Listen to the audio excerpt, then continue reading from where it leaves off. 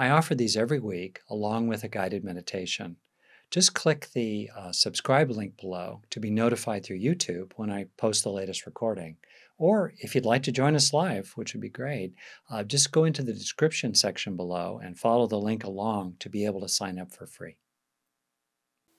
Before I get into my uh, official talk, I'd like to just make a comment on language and more broadly, any sort of prompt that draws us into a, a beneficial state of being, which in turn we can internalize to grow beneficial traits hardwired into our own body.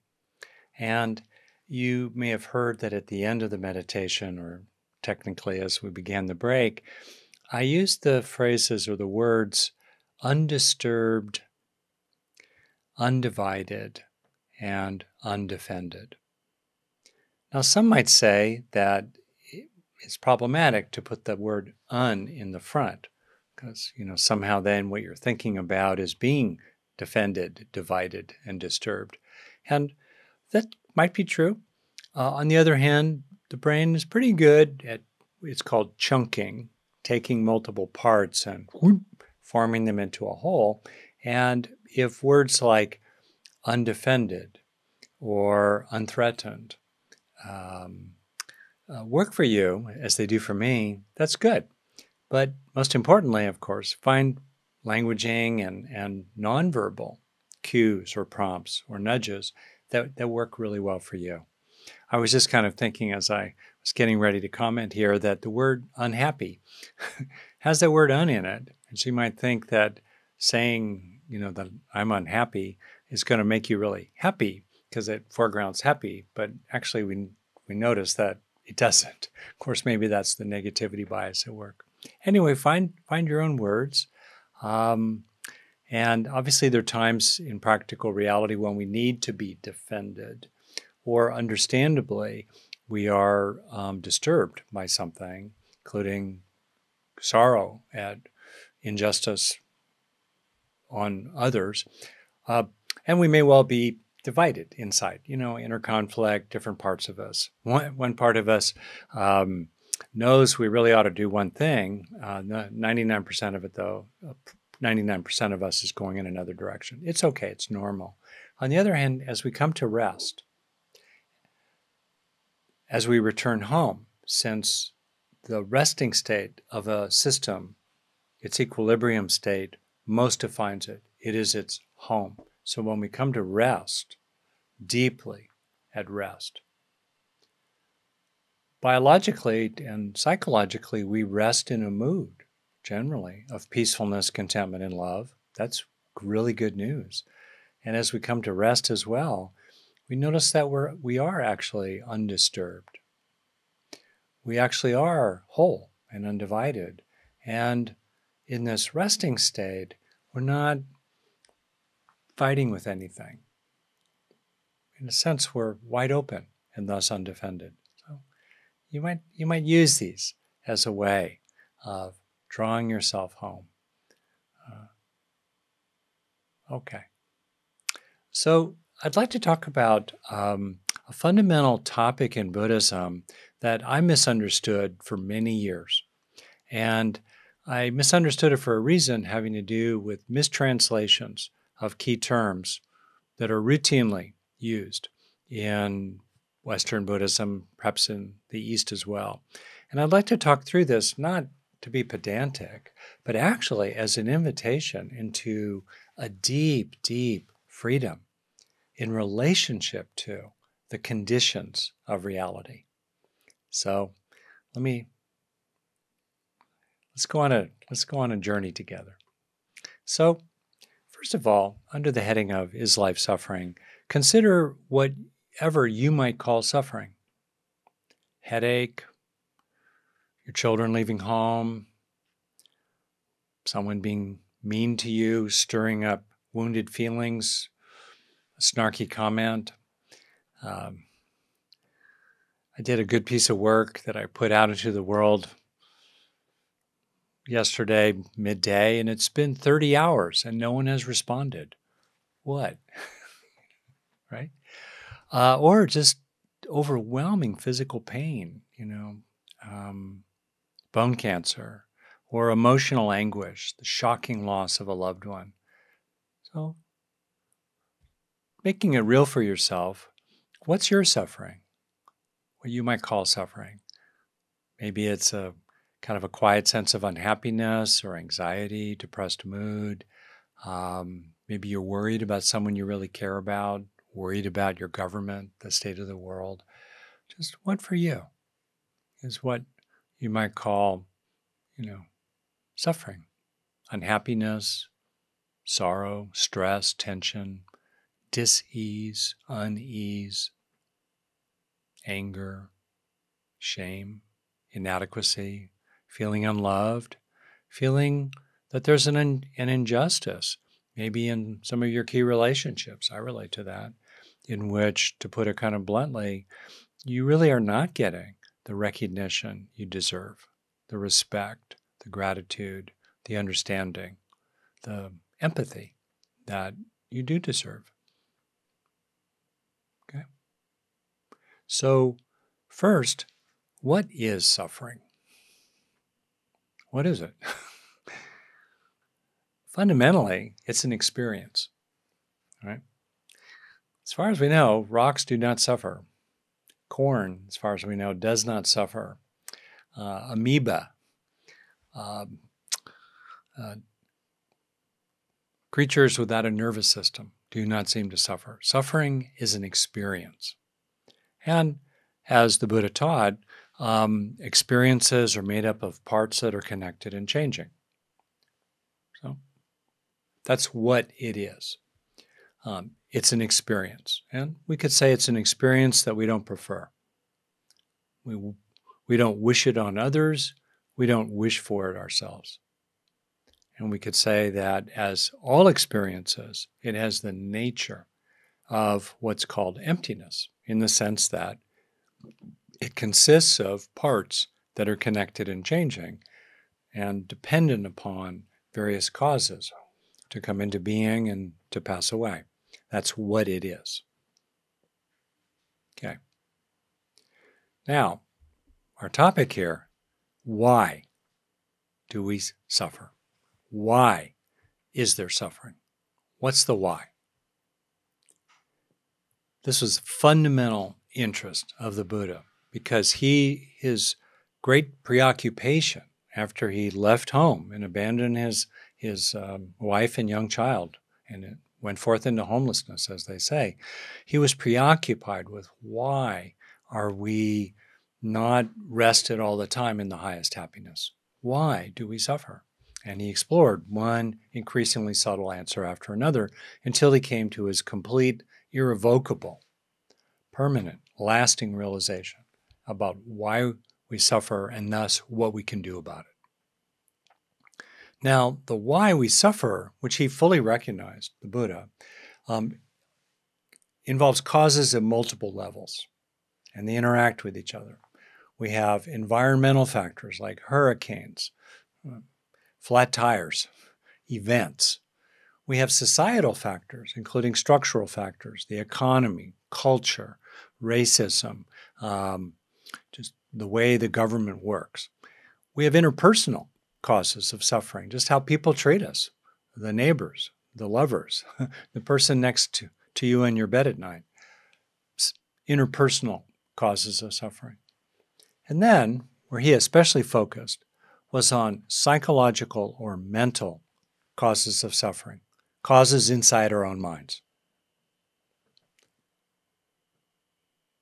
So, and as we increasingly understand it, these mental causes of suffering are grounded in um, our own biology. And before we go any further, I just want to say that non human animals suffer. Lizards suffer. Cats, dogs, maybe mosquitoes suffer. In some way, I don't know. Uh, maybe corn suffers, maybe rocks suffer. I don't know. But I think we can certainly settle in that suffering is an experience that uh, requires a nervous system, certainly in the most obvious and immediate cases, including ourselves. So, in this context, then, the Buddha focused on psychological and mental causes of suffering. That was his focus. That these causes are the locus of our experiences. Our experiences are mental phenomena, they're psychological phenomena. And our experiences are the membrane or buffer between the experiencing being, a cat, a lizard, a human, and overall material reality. So we're focusing on experiences. Now, today, 2,500 years ago, 2,500 years later, we've learned a lot about how the mental, psychological level is interdependent with the biological level. And that has real implications, some of which I'll be getting to real soon. So, as you probably know, the Buddha offered an answer to the question of why do we suffer?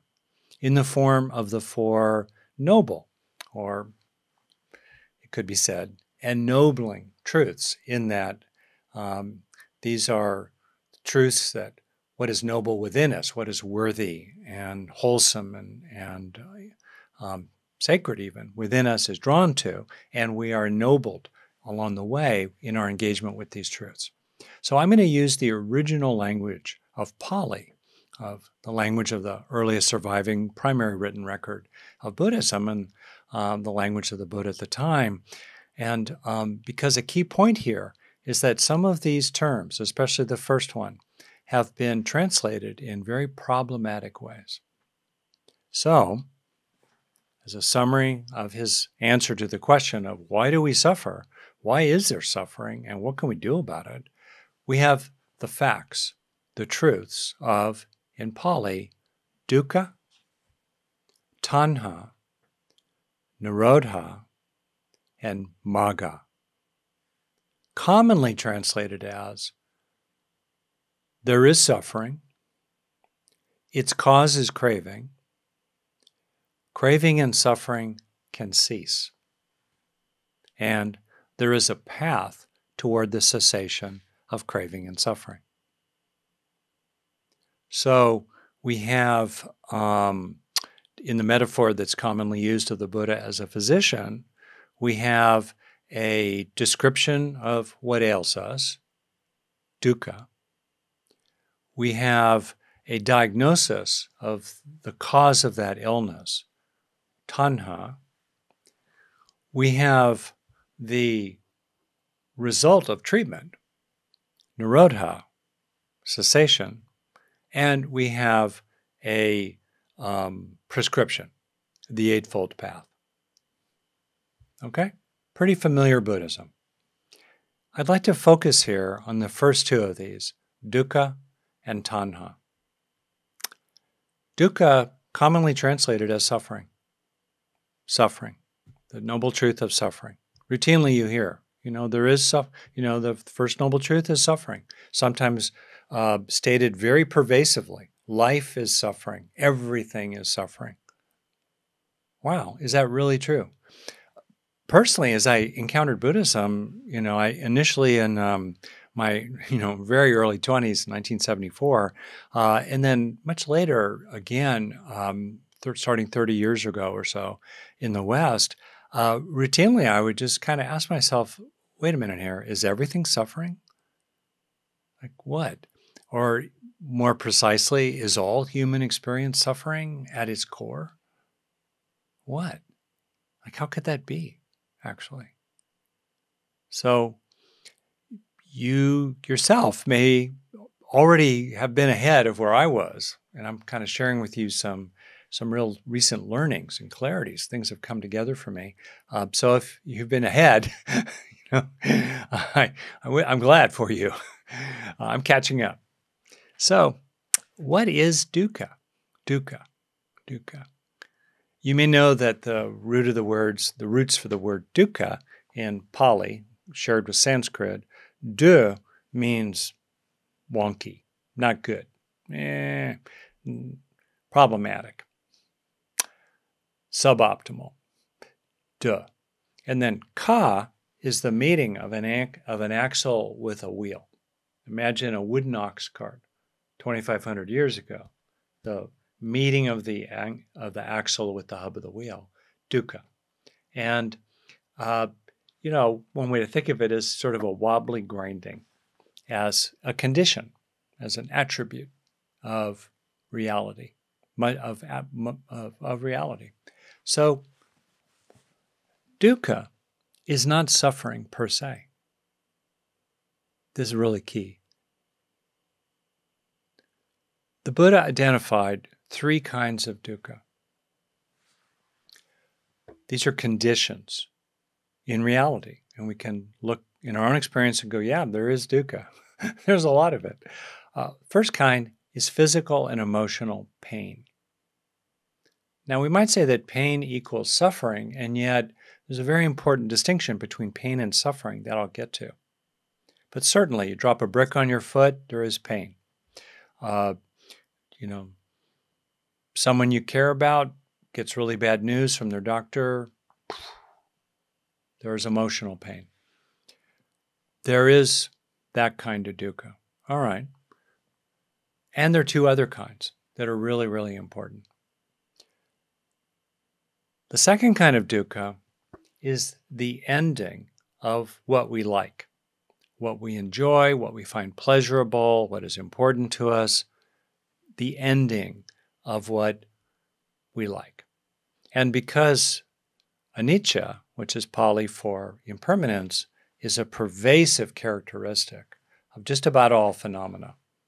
I'm not sure that the speed of light in the Big Bang universe is anicca, but maybe. Who knows? So, yes, you know, good things come to an end. That's a condition. And yet, as I'll speak about in a moment, is that inherently suffering?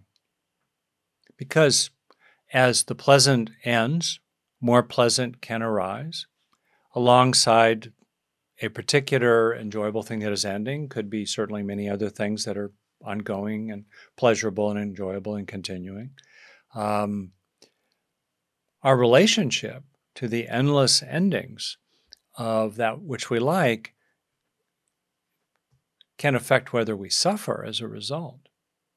And even if the endless endings of conditioned phenomena are happening, they are matched by an endless arising. And the endless endings of phenomena enables the ending of things we don't like.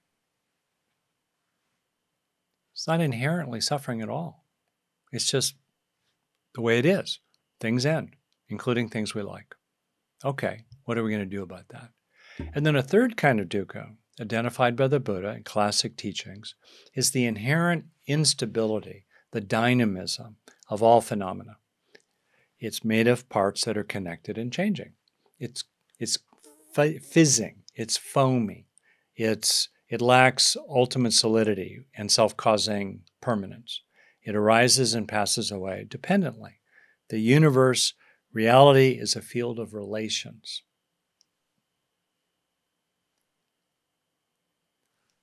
Okay. That's routinely described by in the texts in, by, by teachers as somehow um, and unsatisfactory or alarming. It's not inherently unsatisfactory that the universe is more like a cloud than a brick, that all phenomena in the universe are cloud like, even ones that weigh 100 pounds. That's not inherently unsatisfactory. That's not inherently alarming. It's not inherently suffering.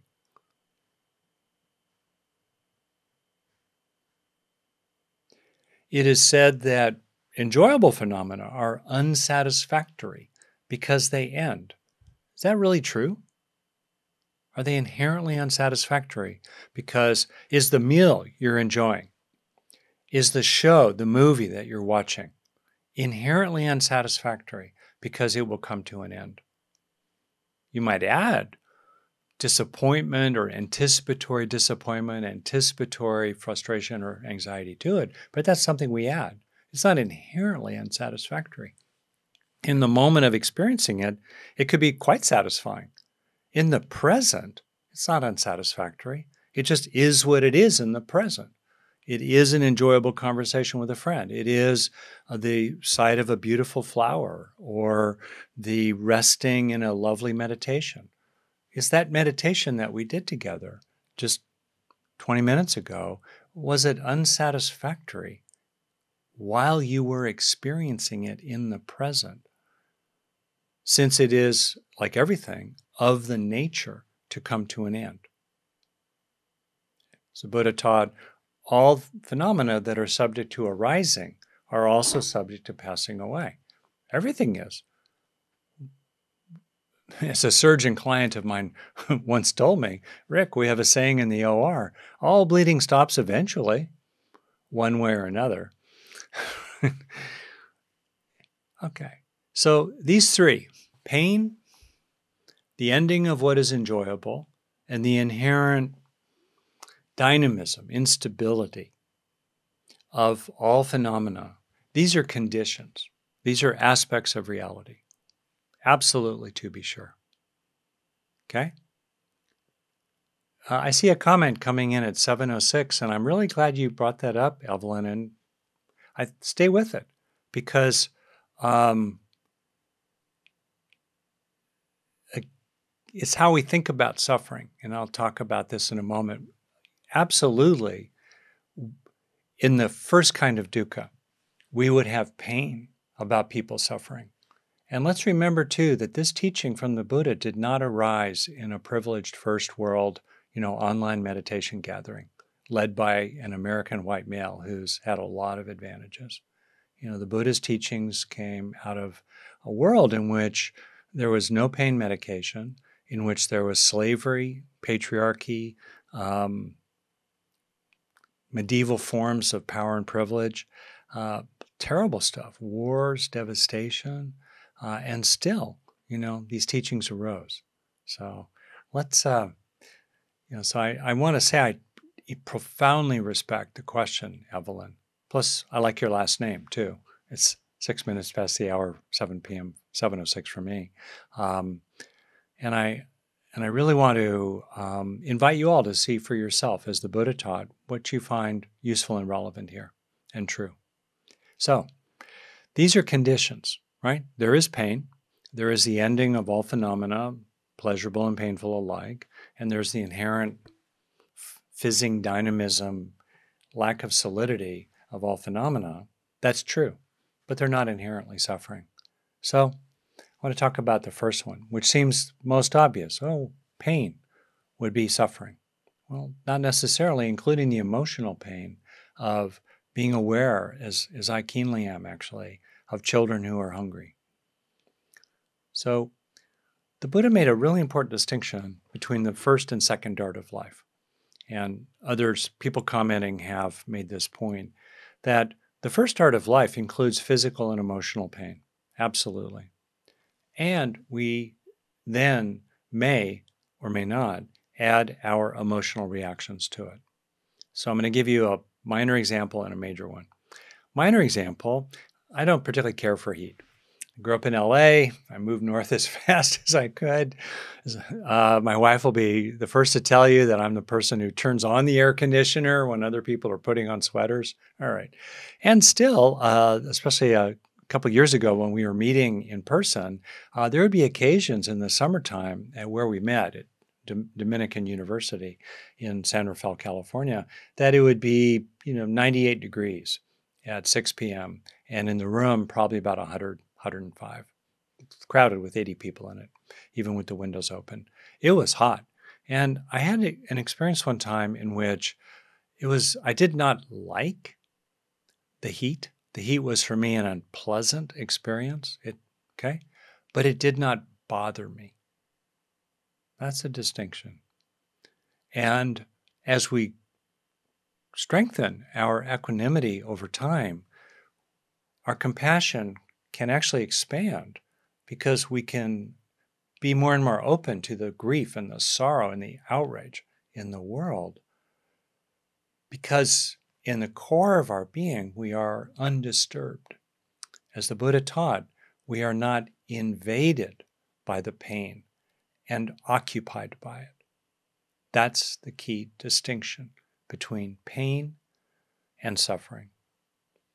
Suffering invades and, and occupies and possesses the mind.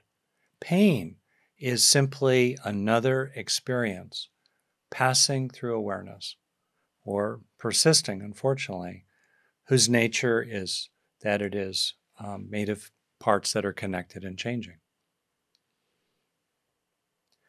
A more, you know, um, significant uh, example was from a um, monk who told the story. Southeast Asia. This is someone who lives in great poverty. Um,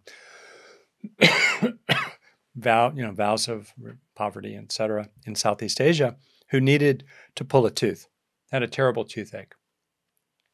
So, this is a bit of a trigger warning. If you have anything going on about dentistry, especially in, you know, original conditions, not with all kinds of fancy pain control, which I'm the first to sign up for when I have to go to the dentist. Um, so this this this monk pulled his own tooth, and he was asked, "How how could you do that?" And he said, "Well, um, when you know I took the decision to pull my tooth, there was no suffering. As I was walking, lifting, setting, lifting." setting my feet on the path to the tool shed where the pliers were, there was no suffering. As I opened the door to the tool shed, there was no suffering. There was simply opening the door. Right? We're coming to the ground state of raw experience. Uh, there was hand reaching for pliers, no suffering. There was grasping the pliers, no suffering. There was placing the pliers on my tooth, no suffering. There was a sudden pull, there was pain. There was setting the pliers down, no suffering. There was turning around and walking out of the tool shed, no suffering. Whoa! but you can see the distinction. There was pain, there was a toothache, uh, but there was not anguish about it. There was not recrimination. There was not being angry at others who let this happen. There was not anger at taking monastic vows that put him in a position where he did not have the means for dentistry. None of that. It was there was nothing added. This goes to the famous sutta between the the dialogue between the Buddha and a wandering um, practitioner of his time, Bahiya, in which the Bahiya pleaded with the Buddha for his teaching, and and finally the Buddha, who was busy. He was on his way elsewhere. Just said very succinctly, "You should. You want my teaching, Bahiya? Here's my teaching. You should train yourself thus. You should train your mind thus. In the seeing, let there be only the seeing. In the thinking, let there be only the thinking. In the sensing, only the thing, the sensing. And when there is only the sensing and the sensing, and the seeing and the seeing, there is no you there, making up all kinds of reactions. And when there is no you there, making up all kinds of reactions." That, just that, is the end of all suffering. Boom. Bahiya was enlightened on the spot, supposedly. Um, so it's consistent with that teaching. We add our reactions to raw experience, which sometimes is painful, emotionally or physically. But that raw pain is not itself suffering in the sense of anguish or, or being upset about it or invaded and occupied by our reactions to that phenomena. Okay? Second, if we can accept the ending, the second kind of dukkha, of all phenomena, right, including the phenomenon of our own body and the phenomenon of the bodies of those we love, if we can accept the ending of that which is enjoyable, again, no suffering. And a lot of Buddhist practice, a lot of Buddhist practice is about developing um, the capacity to accept and allow and have insight into the endless ending of all phenomena. So we get less attached to them at the front end and we become more at ease when at the back end they pass away. They pass away. It was beautiful, right? It was like a beautiful show and it ended. Wonderful party came to an end. The day, you know, I was born, reality threw a big party for me, which included some crud, undoubtedly. All right. Then there was another party. All right. I've had 69 and a half plus days of parties, in a sense, of a kind, in a life that has actually had a fair amount of sadness and upset and pain and anguish and shame in it, inadequacy. And still, wow. And eventually the party will come to an end. There will be the last birthday party. Darn, the day before I pass away, um, or the day of I pass away. And oh, I'm probably going to want more parties. And you know, what a great ride. Thank you. all waves disperse into the sea. And all along, their nature was water.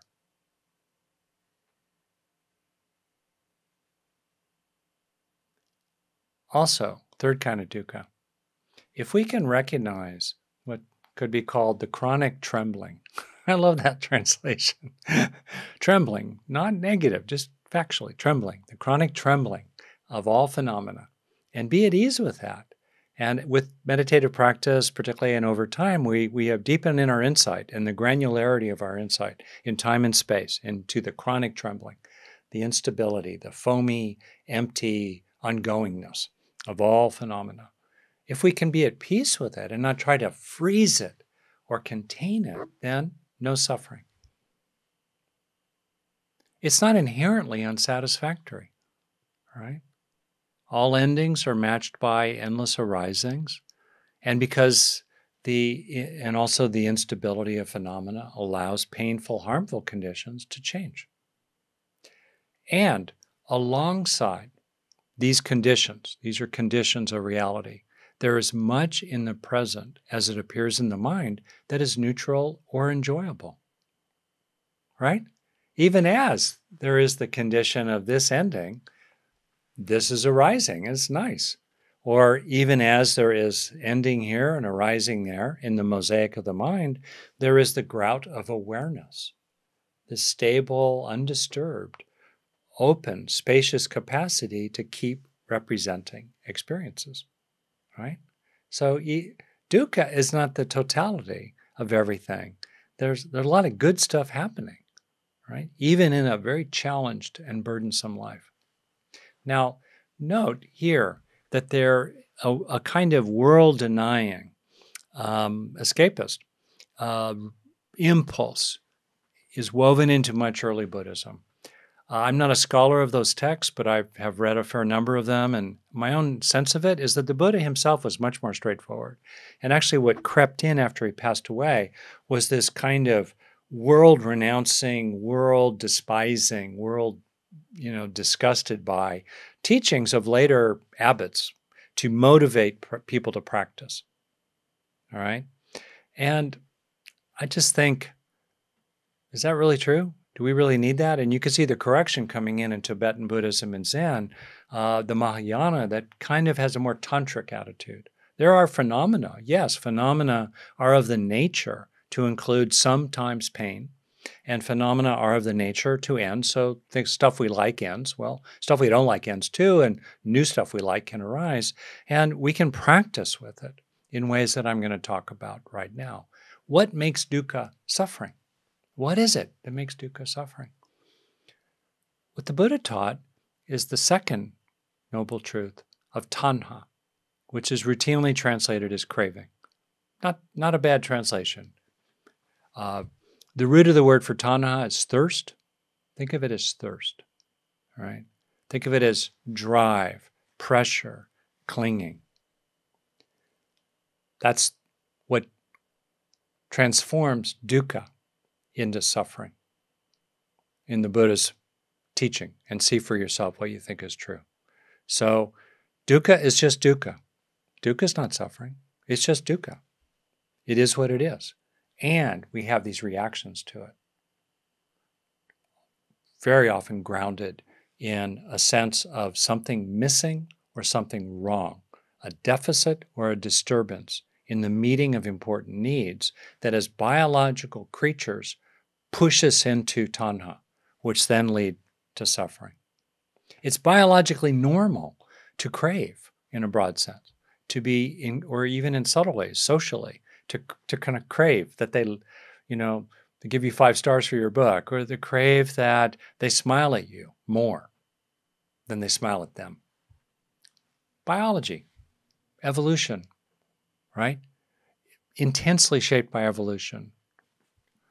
Tanha drive states, intensely shaped by evolution. Neurological systems, often involving dopamine. We, you know, when we drop, when the dopamine rewards drop, like when the ending of, of something pleasurable occurs, it's a great way to keep, you know, monkeys and lizards and humans driving, driving, driving for those rewards, and which increases their odds of passing on genes that pass on genes. Right. Also, distinct from other primates and mammals and vertebrates altogether, uh, the formation of the self, the, evolu- the evolved construction of the apparent self, also is involved with a lot of tanha, a lot of drivenness in human primates. Now, sometimes this biologically rooted in our physical being, baked into our DNA, sometimes tanha, this drivenness, is appropriate and necessary, even if suffering is the toll we pay for gathering our children and racing out of a burning building, or fiercely resisting oppression, or clinging, as I have, to a small hold because you don't want to fall while you're rock climbing. All right, sometimes there's tanha, and we pay the price. But in general, much of our practice, the great majority of it, is essentially how to get the benefits of tanha as motivated action without the costs of suffering. How to actually do that. For example, how do we learn to aspire without attachment? How can we love without clinging? See? We're engaged with life. This is the middle way the Buddha taught. It's not a um, world denying escapist way, even if later teachers kind of spun it that way to motivate intensive practice, um, we can open our hearts in compassion, which has some pain in it, because with compassion, we have empathy for the suffering of others alongside our caring response, our benevolence, our helpfulness in our response. We can open to that without it invading and occupying us in a way that is overwhelming or flooding or disabling. We can train in these ways, right? We can tolerate pain there is pain. There is pain without adding tension to it or aversion or a lot of mental reactions or stiffening against it. We can hold our pain um, the, and, and the pain of others in a spaciousness of mindful awareness. We can face loss without fear. Loss is going to happen. We will lose everything and everyone we love at various times, one way or another, including our own passing. Loss is inevitable. We can face that without fear. Doesn't mean we like it or prefer it, but we don't need to fear it or bring frustration uh, to it. Oh. You might want to reflect here. To me, it's incredibly hopeful. Dukkha is not suffering. There is dukkha we don't have to suffer it. That was the liberating teaching. That is the liberating, freeing, good news of the Buddha. Dukkha does not equal suffering, which is full of hope, opportunity, and responsibility for us to practice. Reality is reality. Life is life, and we need not suffer it. Let that sink in.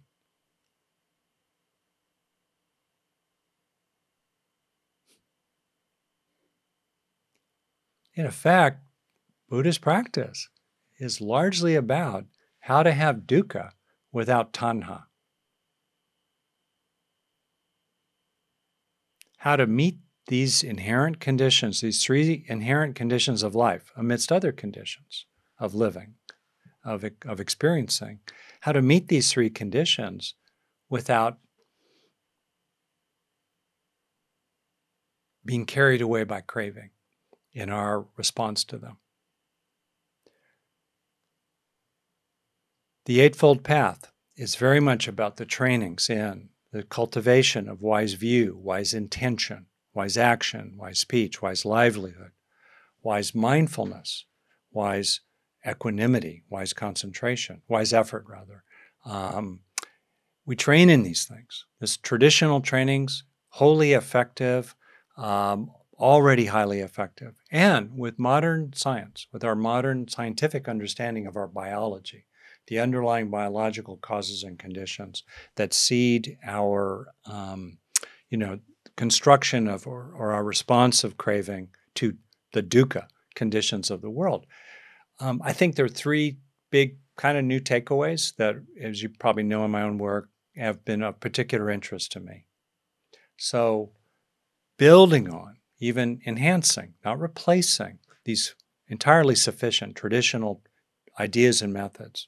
Still, see for yourself, one enhancement is to really focus on the internalization of whatever we are cultivating using methods from positive neuroplasticity that naturally tend to heighten the um,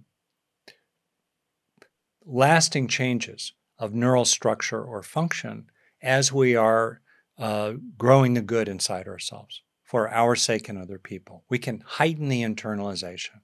We can use neurologically informed methods to really help uh, wise view, wise intention, wise concentration, and so forth to really sink in and become increasingly stable within us. We can help these beneficial states become hardwired as beneficial traits through simple, deliberate methods, such as staying with these experiences for a breath or longer, rather than changing the channel, such as feeling them in your body, such as focusing on what is enjoyable or meaningful about them. Any one of those three will heighten neuroplastic change repeatedly over time.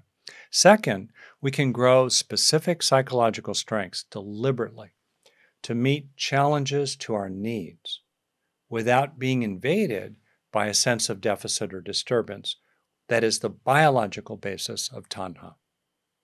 If we have sufficient capacity to deal with an interpersonal issue or to climb El Capitan or to, um, you know, manage our own physical pain or illness as we age, if we have the strengths to meet challenges to our basic needs, we don't have to be disturbed by them. We don't have to be bothered by them as we cope.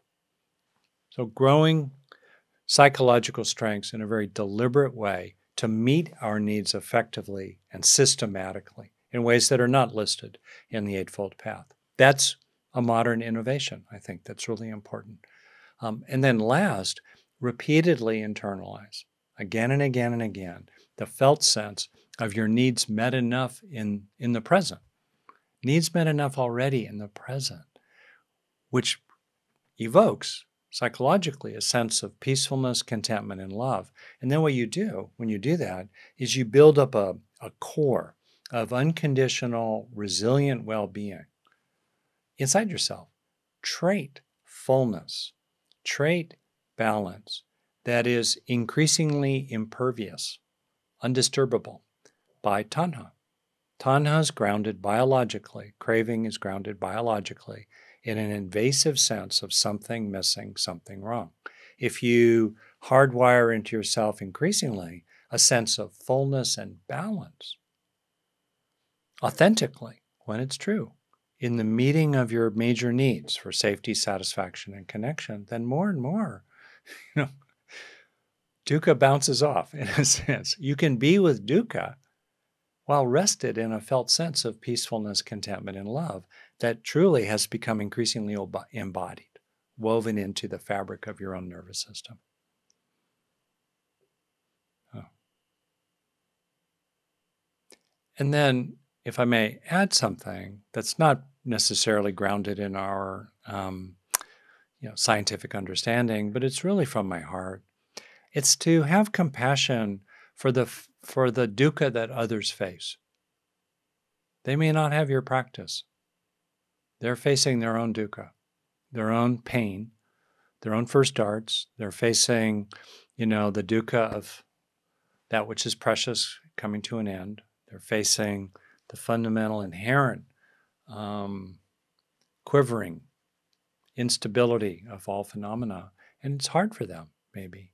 Without patronizing or condescending, we can have compassion for the meeting of others with dukkha. And we can do what we can to help them not suffer it, not necessarily suffer it. If I can close by quoting the Dalai Lama from Tricycle Magazine, um, he said, Here, as soon as I wake up, I think about altruism. As soon as I wake up, I think about altruism, how to be helpful, compassionate, and helpful to other beings. Seems like a fitting ending here. You may have noticed that I've come to the end of my time. I usually have good time for questions and discussion. Tonight, I think it's enough to sit with this, to let it sink in.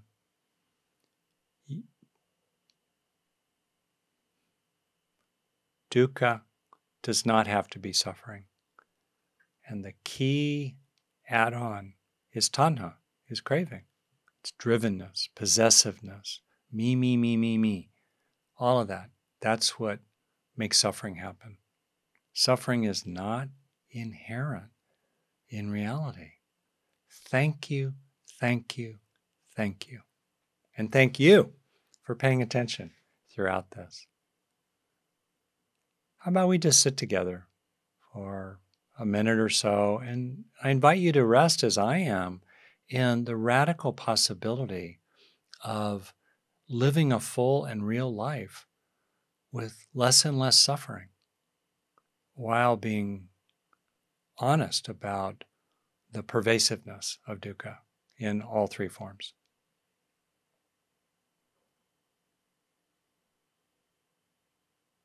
Can rest in the possibility.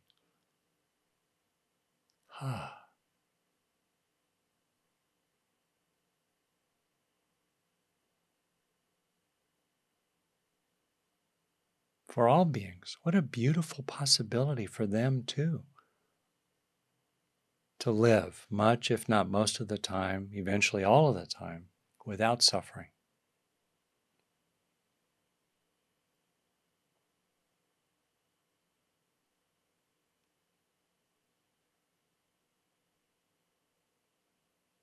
May this possibility be increasingly real in your life and the lives of all other beings.